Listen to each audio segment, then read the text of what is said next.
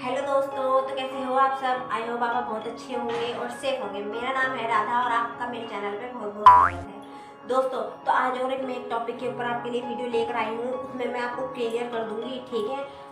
Pregnancy को लेकर के, ठीक है दोस्तों? तो मैं आप लोगों से बताना चाहती हूँ कि जो औरतें प्रेग्नेंट होती हैं, उनके माइंड में हमेशा ये क्वेश्चन रहता है कि मेरे को बेटा होगा या बेटी होगी।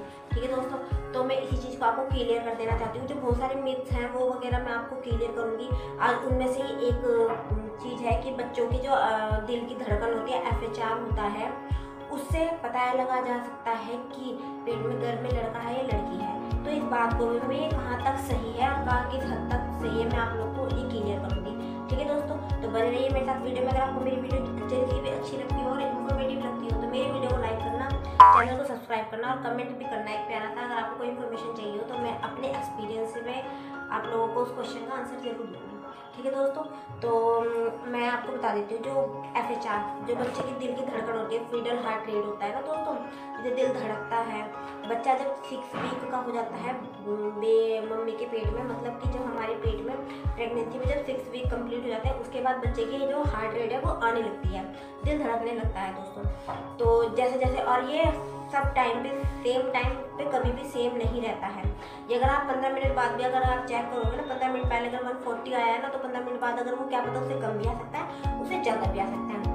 कुछ नहीं है कि हाँ हर टाइम पे अगर वन फोर्टी आया फ़र्स्ट अल्ट्रासाउंड में तो हमेशा वन फोर्टी आएगा। और वन फिफ्टी आया तो हमेशा वन फिफ्टी आएगा। ये हमेशा बच्चे के मूवमेंट के अकॉर्डिंग बदलता रहता है। ठीक है दोस्तों? तो मैं आप लोगों को बता दूँ कि मेरी जो फ़र्स्ट प्रेगनेंसी थी, वो 2017 में हुई थी। जैसे कि आप सभी को पता ही है, आपने अगर मेरी पहली वीडियो देखी होगी, जिसमें मेरा बड़ा बेटा है। ठीक है तो मैं उसकी रिपोर्ट आप लोग को दिखाती हूँ कि उसमें सब कहते हैं कि वन फोर्टी से अगर नीचे हार्ट रेट हो तो लड़का होता है। और अगर उससे ज़्यादा हो तो लड़की होती है।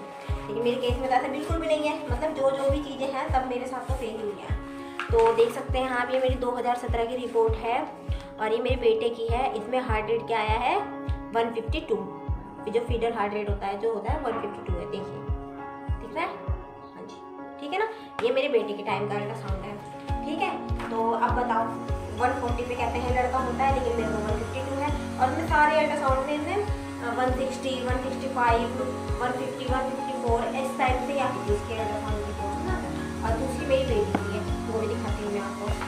ये है मेरी बेबी टाइम का देख सकते हैं आप। दो हज़ार इक्कीस की रिपोर्ट है ये, देखिए। दो हज़ार इक्कीस की रिपोर्ट है ना दोस्तों? हाँ दो हज़ार इक्कीस में मेरी बेटी हुई है। और इसके hard heart rate heart rate देखोगे आप तो भी आप कहोगे। देखिए दोस्तों, ये मेरी बेटी है। बेटी के हार्ट रेट क्या रहा है? वन थर्टी सेवन क्या रहा है? वन थर्टी सेवन तो दोस्तों, अब ये बताओ, बेटे के टाइम पे मेरा ये आता था, इतना कम हार्ट रेट और बेटे के टाइम पे मेरा हमेशा ज़्यादा ही आता था। तो अब मैं कैसे विश्वास करूँ कि हार्ट रेट पे अकॉर्डिंग आप बता सकते हो कि मेरा बेटा होगा या बेटी? और इस अकॉर्डिंग से मानो तो जो मेरी थर्ड प्रेगनेंसी है आप इसका भी देखिए जो थर्ड प्रेगनेंसी है, उसमें देखिए। इसकी हार्ट रेट मेरी कितनी आती है? हमेशा इसकी अबाव आती है मतलब ज़्यादा ही आती है हार्ट रेट मेरी देखो। वन ये मेरी थर्ड प्रेगनेंसी है, आप देख लीजिए, नाम मेरा लिखा हुआ है राधा दो हज़ार तेईस। से प्रेगनेंसी है मेरी थर्ड ट्राइमेस्टर मेरे चल रहा है दोस्तों। और मैं अपने एक्सपीरियंस के बल पे आपको सब चीज़ें बताती हूँ, और प्रूफ के साथ। ये नहीं है कि मैं कुछ झूठ बता रही हूँ, आपको प्रूफ के साथ बताऊँगी कि मेरे साथ जो हुआ है मैं आपको बता रही हूँ। जो मिथ है सबके, वो मैं आपको क्लियर करती हूँ, ठीक है, अपनी वीडियो के माध्यम से। तो दोस्तों देखो, इसमें मेरा क्या आया है? Heart rate one fifty nine देख सकते हैं आप। है ना दोस्तों? वन फिफ्टी नाइन आया ना हार्ट रेट देख सकते हैं आप, देख। मेरी one fifty nine heart rate आ रखी है इसमें। ठीक है दोस्तों? तो इसके हिसाब से तो मेरा बेबी बॉय होना चाहिए। क्यों? क्योंकि मेरे पहले भी उसमें हुआ था और इसके हिसाब से बेबी गर्ल भी होना जैसे मिथ्स होते हैं, उनके हिसाब से मेरी बेबी गर्ल भी होना चाहिए। लेकिन ऐसा कुछ नहीं है दोस्तों। ये बहुत बड़ा एक मिथ ही है कि जो बच्चों की जो हार्ट रेट है, उससे पता लगाया जा सकता है कि हमें बेबी बॉय होगा या बेबी गर्ल होगा। ऐसा कुछ नहीं है। ये बस जो हार्ट होता है ना, उसके दिल धड़कना होता है ना तो उसकी उसको बताता है और कुछ नहीं है। दोस्तों, इससे ज़्यादा कि बच्चे का जो हार्ट है, वो सही से चल रहा है, नहीं चल रहा है। बच्चे की हार्ट बीट कितनी आ रही है, कितनी बार धड़क रहा है, ये सब चीज़ें अभी पेट में धड़कता है, ये सब चीज़ें बताई जाती हैं उसमें।